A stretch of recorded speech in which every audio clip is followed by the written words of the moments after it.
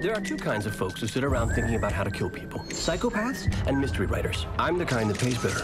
Who am I? I'm Rick Castle. Castle, Castle. I really am ruggedly handsome, aren't I? Every writer needs inspiration, and I've found mine. I'm Detective Kate Beckett. Beckett! Beckett? Could you get some backup, please? And thanks to my friendship with the mayor, I get to be on her case. Do I look like a killer to you? Yes, you kill my patience. And together we catch killers. I hate this case. I know, isn't it great?